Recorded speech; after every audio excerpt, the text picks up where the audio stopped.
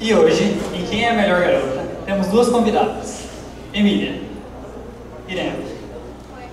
Então, Emília, por que você é a melhor garota? Assim eu sou a melhor waifu? Minha queridinha, olha pra mim. Eu, Loli, feita maravilhosa. Olha que fala. Ao menos você sorri.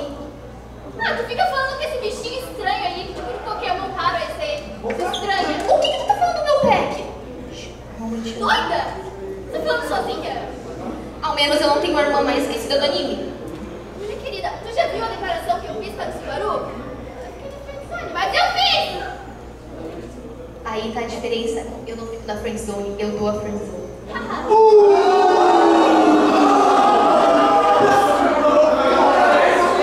Bom, meninas, então temos o resultado.